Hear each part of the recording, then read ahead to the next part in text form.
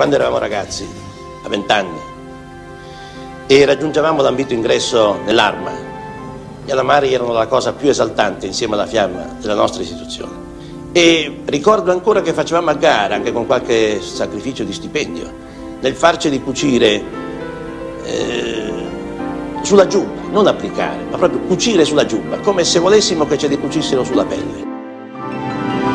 È una verità, per esempio, che la nostra Costituzione, quella che noi viviamo, quella che molti ricordano di tanto in tanto, ma che noi difendiamo giorno per giorno.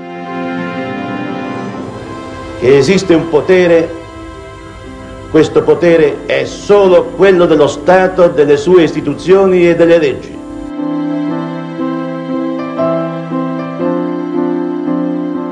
Non chiedo leggi speciali, chiedo chiarezza.